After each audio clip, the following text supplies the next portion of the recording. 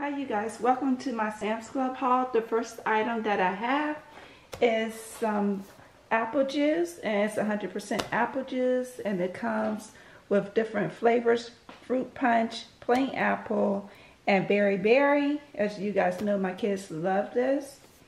I have some mints because I ran out of mints. I love purchasing Sam's Club mints. Then I have some turkey sticks. I was happy that they had these back in stock because it been months where I could not find these at Sam's Club.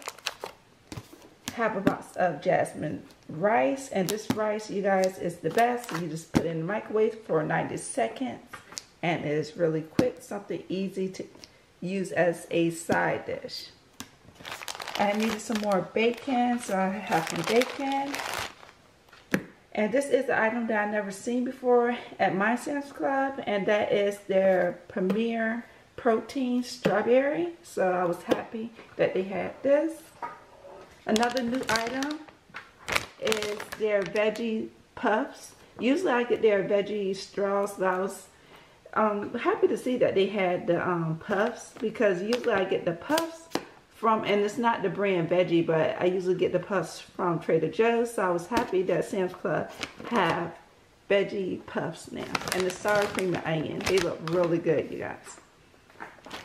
I had needed some celery so I can start juicing. And I have two bags of celery.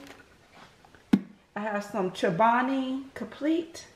And this is actually my first time seeing this at Sam's Club and it looks really good and it comes with strawberry cream four of those and four of the vanilla so I'm happy to try this out hopefully I like it then I had ran out of silk, almond silk so I went ahead and purchased a box of almond silk and me and my kids we go through this really fast because I like to use this in my smoothies they use it for cereal or if they're making smoothies too and that's it for my Sam's Club haul, you guys. I hope that you guys have a wonderful day. And thanks for watching. Bye-bye.